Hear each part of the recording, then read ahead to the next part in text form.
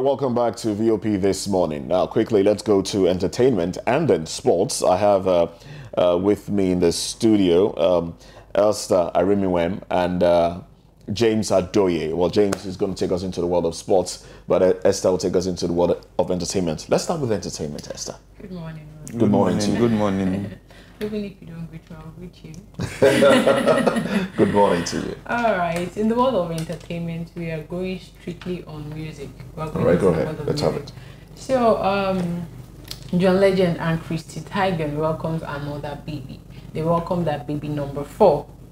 Congratulations are in order to John Legend and Chrissy. The couple announced that they have expanded their family after welcoming their baby by surrogacy. All right, all right. Okay. Congratulations to them. Uh, yeah, they took to their Instagram. The couples took to their Instagram page to announce the celebration. They confirmed it on an Instagram post, giving a lengthy post about um, the birth of their son. Congratulations to both of them. So, Moses, if I may ask you, what do you think about surrogacy? It's it's okay. It's okay. Uh, you know, we, we, we discussed this uh, some some days back. It's okay. In a situation whereby, for whatever medical reason, a woman cannot carry uh, her baby to term, there's absolutely nothing wrong in getting somebody to help you do so. You can do it. Well, there is nothing wrong in getting somebody to help you do so. But can you do it? Can it's you not, it's not about perso- it's not it's not personal now. Yeah, yeah, It's not personal, but there's absolutely nothing wrong in doing so. Okay. All right then. Okay, next on our story is uh, Madonna, the pop singer.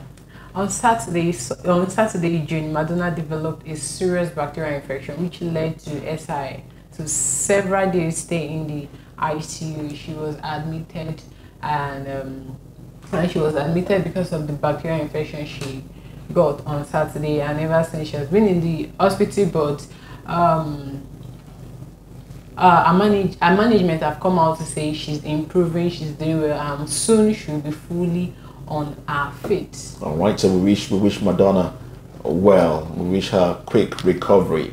James, now uh, what what do you have for, for us in the world of sports? Um, in the world of sports, we have um, the coach of Bendel Insurance, Sunday okay. Odigie. He came out to give a statement that Bendel Insurance will only get better. You know, his, his, team just came out of a season where they won the Confederations Cup mm. after for three years of no victory or trophy. Mm. They came out to win the Confederations Cup, and he assured the viewers, the team supporters, the club supporters that the only team will only get better from where they are. And he promised to go back to go back on their end, get more staff, recruit more players for and in preparation for the next season to come back and come back better to come back better to play both international and local leagues very well. All right then. They, they had a very good season where they where they went to um, 23 matches unbeaten within the course of the season. After 23 matches, they came to lose to Rivers United, so they go to New. So that affected them. And he said, he came out to say the fatigue mm. took, took, took a toll on them. He took a toll on them. And he came out to say, okay, during this course of transfer market, I'll get more players to get more depth in the team. So something like that, such cases will not happen again. Okay. Uh, moving to the second story, um, we have a late legend, a legend of us of, um, of Nigeria, Jerry Okorodudu.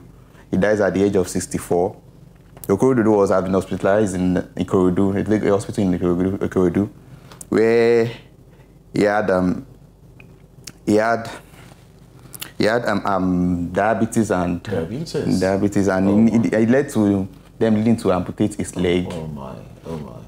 According to the story, he didn't get help. He didn't get assistance. He didn't get help from anywhere. Both the state government and um, his boxing colleagues, none of them turned up to assist. Oh well, that's that's unfortunate. So um, quite unfortunate. I do think, I do think uh, our sports professionals should be given um, better insurance, better life insurance. Exactly, especially for their leave, health. Yes, because when they leave when they leave the, the limelight, uh, their life tends to dwindle, and for those that don't have money to sustain uh, themselves, they just you know they fall sick and they and they die.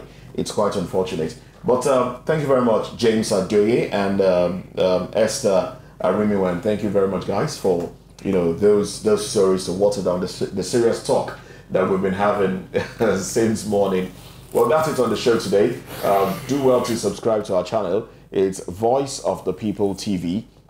And follow us on other social media platforms as well at VOP TV Live. I'm Moses Humphrey. Have a beautiful day.